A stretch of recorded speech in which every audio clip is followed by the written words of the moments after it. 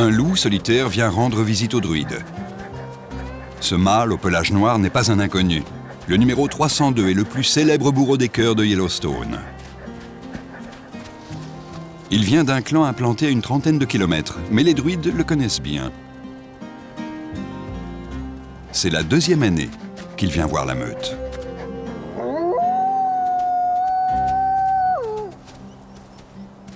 Le numéro 21 et sa compagne ne cachent pas leur irritation. En revanche, leur fille semble très attirée par le visiteur.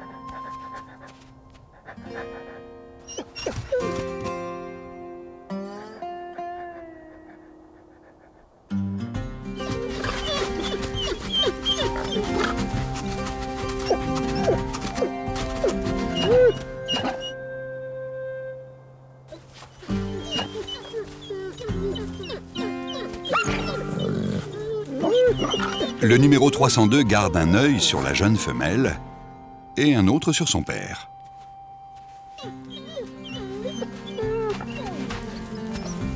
Finalement, c'en est trop pour le chef des druides. Le numéro 302 bat en retraite. C'est un don Juan, il aime séduire, mais pas se battre. Il n'a aucune envie de défier le vieux chef.